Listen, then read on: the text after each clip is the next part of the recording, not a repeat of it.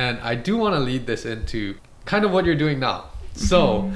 I think a lot of these experiences, you know, have taught you a lot, obviously, and you're using it to kind of pay forward to help some of the high school students, right? So explain a little bit about the messages that you share to some of the high school students, what it is that you briefly do, and what's kind of your perspective with how to help and pay forward to younger athletes or students. Yeah. Um, so after my career ended with uh, at, with UH, I kind of I, I decided that I didn't want to play pro because my body had kind of had a lot of wear and tear. So I needed to shift into a career already. Mhm. So I decided to pursue school counseling, and so I entered grad school at Chaminade, and it, I just recently finished. It was a two and a half year program. Congrats. Thank yes. you, thank you.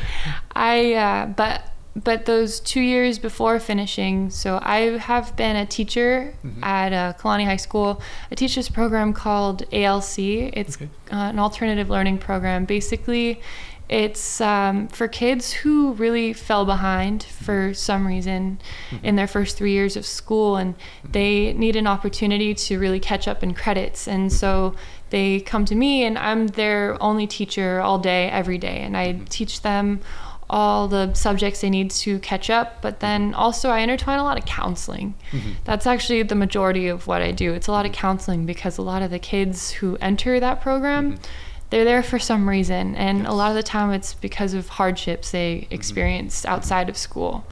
And so i really relate to that because i experienced a lot of hardships outside of um, you know outside of volleyball and so i kind of bring those experiences with me and i really can connect with my kids well Yes. because i understand what it's like to experience something like that Yeah. and um, so that's uh, what I'm doing right now. And I eventually want to be a school counselor who works in high schools, just trying to help kids with any social emotional issues that they're experiencing. hmm Are there any big messages that you can pass on, not only to the kids that maybe are in your program or need to catch up with credits, right? But just for anyone navigating through high school, college, or even those athletes that are looking to play at the next level, right? What are some of the messages that you can pass on from your experiences? hmm Uh, there's definitely a few things I can think of. Um, one of the big ones being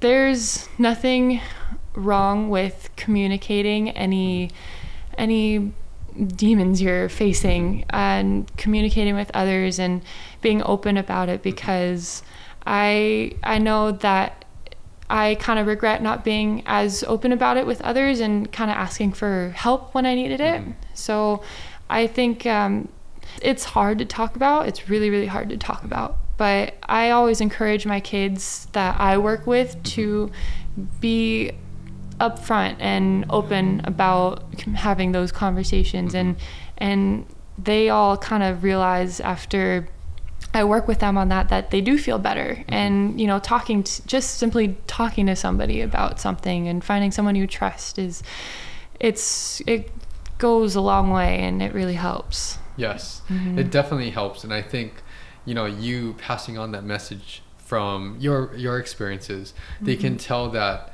you know you've been there. They can tell that you really care about them and you're really there to help them too. So I think mm-hmm. we need more people in the community, you know, in any role, right, to mm-hmm. really help some of the kids when they're going through some of the hard times because Yeah. that's what most people, the public, doesn't see. What mm-hmm. happens during the hard times, you know? Yeah. It's fine when things are going great. You know, a lot of times, Oh, you know, things are going great. You don't need need a lot of this this extra support, I guess. Um, although it helps, right?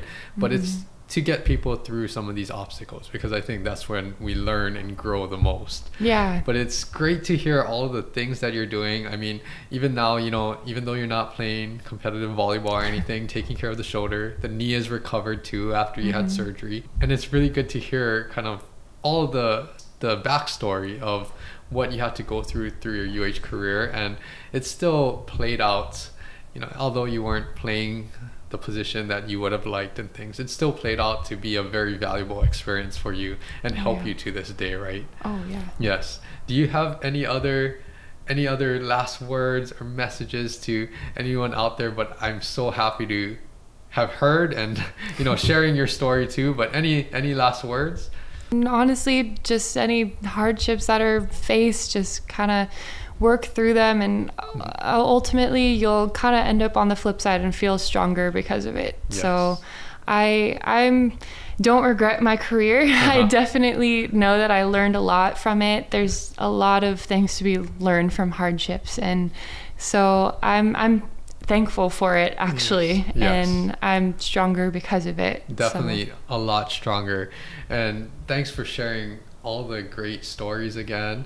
And maybe one day, you know, have you ever thought about coaching or doing anything like that? I have. I want to. Yes. I, I want to pass down any knowledge that I've gained yes. from my career. So I, I want to eventually be a high school coach. Yeah. So one of these days we'll see you coaching on the sidelines or for club or all of these things. Um, mm-hmm. But I think there's definitely a lot of things that you're gonna do to help more people in the future. But also, you know, hopefully get back to the game of volleyball in some capacity and help all of these younger athletes. Hopefully. But this is always I always say it's just the tip of the iceberg of your story. We can literally every athlete we're trying to cram in as much as much of your story as possible.